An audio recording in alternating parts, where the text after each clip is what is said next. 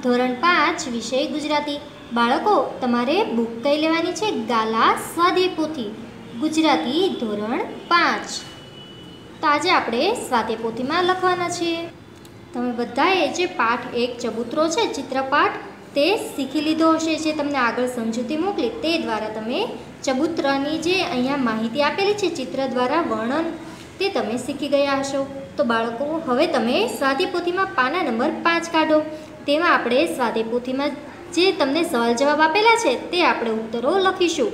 Number એક પ્રશ્ન છે, આપેલા ચિત્રના આધારે નીચેના પ્રશ્નોના ઉત્તર લખો. હવે તમને અહીંયા પ્રશ્ન પૂછવામાં આવેલા છે, તો પ્રશ્ન પૂછીએ છે તેના પરથી આપણે જવાબ લખીશું. નંબર એક શું છે, ચબૂતરો કોના માટે બાંધવામાં આવ્યો હશે? હવે બાળકો, તમે ચબૂતરો જુઓ તો તો ચબૂતરામાં અહીંયા પંખીઓ દેખાય છે ને આજુબાજુમાં? અને તમે ચબૂતરો ગામડે જાઓ ત્યારે ત્યાં પણ તમે જોયો હશે. તો તમને ખબર હશે કે ચબૂતરો કોના માટે બાંધવામાં આવ્યો હોય છે? પંખીઓ માટે. તો જવાબ લખો, ચબૂતરો પંખીઓ માટે બાંધવામાં આવ્યો હશે. ત્યારબાદ જોઈએ નંબર બે, ચબૂતરામાં શું નાખવામાં આવે છે? તો ચબૂતરામાં ચણ અથવા તો દાણા નાખવામાં આવે છે. તમે કંઈ પણ લખી શકો છો ચણ અથવા તો દાણા. નંબર ત્રણ છે, ચબૂતરા પર છત શા માટે હોય છે? તો છત શા માટે હોય બાળકો? જવાબ લખો ઉનાળામાં અને ચોમાસામાં. પંખીઓને રક્ષણ મળી રહે છે, એ માટે ચબૂતરા પર છત હોય છે. ત્યારબાદ લખો નંબર ચાર. પંખીને પાણી પીવા માટે સી વ્યવસ્થા છે બાળકો? તો પંખીને પાણી પીવા માટે ચબૂતરામાં પાણીની ઠીબ લટકાવેલી છે. ઠીબ એટલે કે જેમાં પાણી ભરવામાં આવે છે. નંબર પાંચ છે, નિસરણીનો શો ઉપયોગ થતો હશે? હવે ચબૂતરામાં જુઓ તમે. નીચે નિસરણી છે અને ચબૂતરો તો ઊંચો છે. હવે આપણે ચણ નાખવું હોય તો આ નિસરણીમાં વડે ઉપર ચડીને તમે ચણ નાખી શકો છો. આ માટે નિસરણીનો ઉપયોગ થાય છે. તો જવાબ લખો. નિસરણીનો ઉપયોગ લોકો દ્વારા પંખીઓને ચબૂતરામાં દાણા નાખવા માટે થતો હશે. ત્યારબાદ છે નંબર છ. એમાં શું સવાલ આપેલો છે? ચિત્રમાં કયા કયા પ્રાણીઓ જોવા મળે છે? તો જવાબ લખો, ચિત્રમાં ગાય, બકરી, કૂતરું વગેરે પ્રાણીઓ જોવા મળે છે. હવે જોઈએ આગળ. ત્યાં તમને પ્રશ્ન બે છે. બે શું પૂછેલું છે?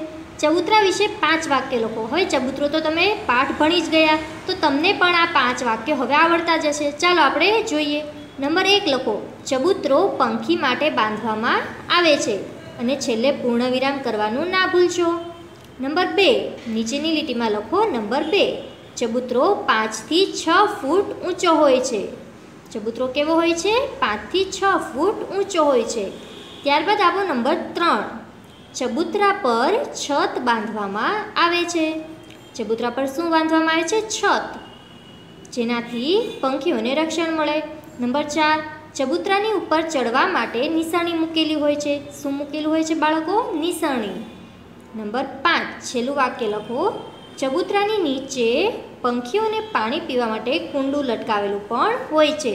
તો આવી રીતે આ પાંચ વાક્ય તમારે પણ સ્વાધ્યાયપોથીમાં લખવાના છે. અને બાળકો, આ બધા જ ઉત્તરો તમારે પેન્સિલથી નહીં, પરંતુ પેનથી લખવાના છે. કારણ કે હવે તમે મોટા થઈ ગયા, તો તમારે પેનથી જ બધા ઉત્તરો લખવાના છે. અને ગુજરાતીમાં જ્યારે લખાણ લખો, તો એ તો તમને ખબર જ હશે કે ઉપરની લીટીને અડાવીને તમારે લખવાનું હોય છે.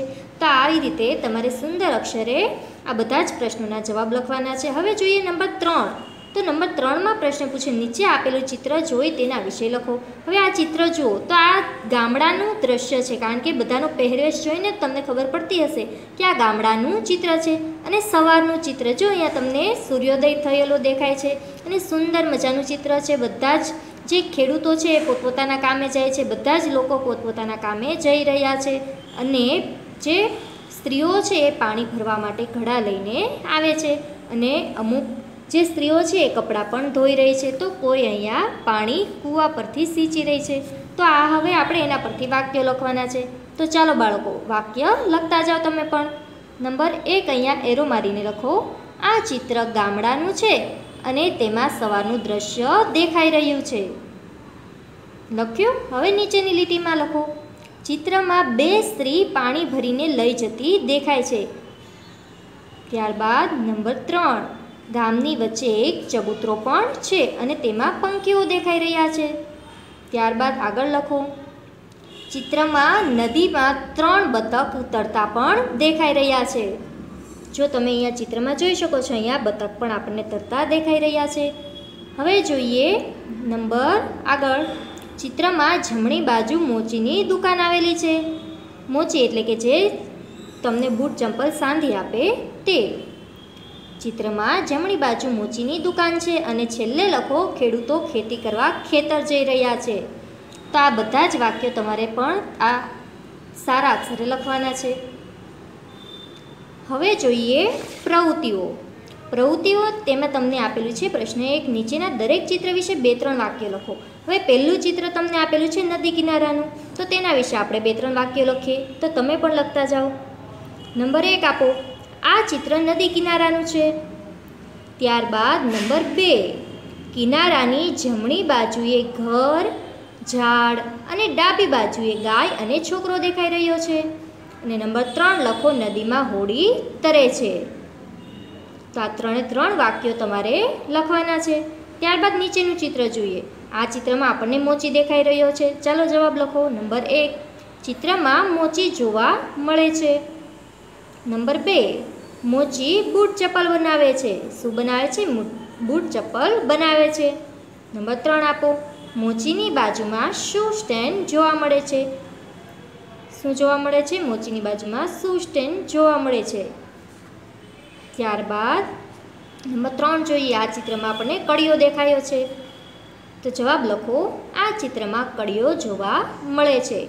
નંબર બે, કડીઓ શું કામ કરે બાળકો? ચણવાનું. તો જવાબ લખો, કડીઓ ચણવાનું કામ કરે છે.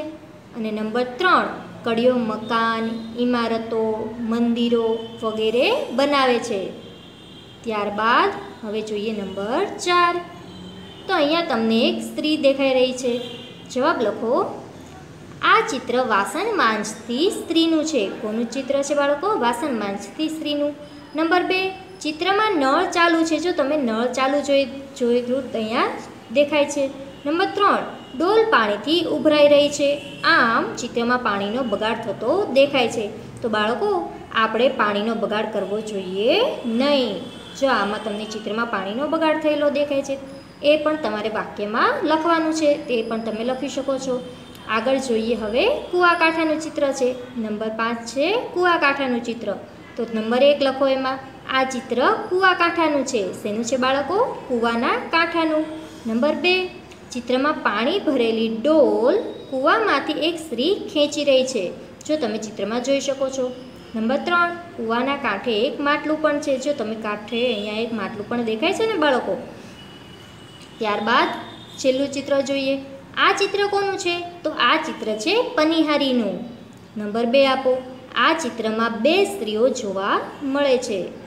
ત્યારબાદ નંબર ત્રીજો, સ્ત્રીઓના માથે પાણી ભરેલા બેડા છે. બેડા એટલે કે જે તમે અહીંયા જોઈ શકો છો, ગાગર અને હેલ તો તેને બેડા કહેવાય છે. તો આમ અહીંયા પ્રવૃત્તિના જે તમને એકથી છ ચિત્રો આપેલા હતા, તેના વાક્ય આપણે બનાવી દીધા. હવે જોઈએ આગળ. પાના નંબર આઠ. ત્યાં આપેલું છે, ચબૂતરાની મુલાકાત લો.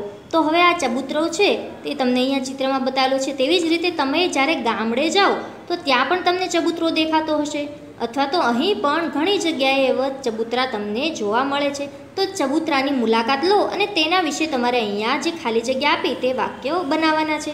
બાળકો, આ તમારે ગૃહ કાર્યમાં પ્રશ્ન પૂરો કરવાનો છે, કારણ કે તમે મુલાકાત લઈને ત્યાં શું શું જોવા મળે છે તે તમારે અહીંયા લખવાનું છે, તેનું વર્ણન કરવાનું છે. ત્યારબાદ છે, શાળામાં ચાલતી અક્ષયપાત્ર પંખીની પરબ પ્રવૃત્તિઓ વિશે જાણો. તો આજે એક અને બે તમને અહીંયા ચિત્ર અને ખાલી જગ્યા આપી છે, તે તમારે ઉમેટ કરવાનું છે. અને તમારે આવી રીતે આ પાઠનું જે સાદે પોથીમાં પૂર્ણ કરવાનું છે, તે લખવાનું છે અને જે હોમવર્ક મળ્યું, તે પણ તમારે કમ્પ્લીટ કરવાનું રહેશે.